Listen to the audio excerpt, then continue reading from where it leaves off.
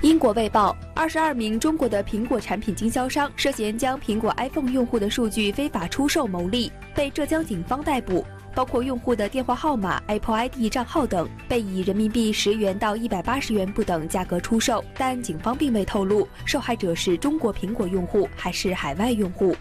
美国有线电视新闻网 CNN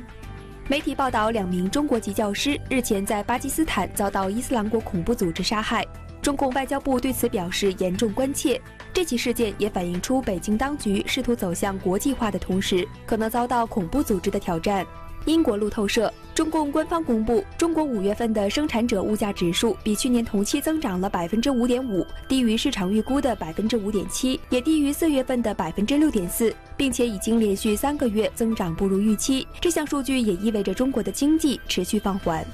美国《纽约时报》。中共从六月一号实施网络安全法之后，近日来网络上多个娱乐、八卦、名人相关的新闻网站与微信公众号陆续被关闭。媒体业者抱怨，以往的中国娱乐新闻和体育新闻还勉强有点言论自由，现在可能所有的新闻都要被政府管控。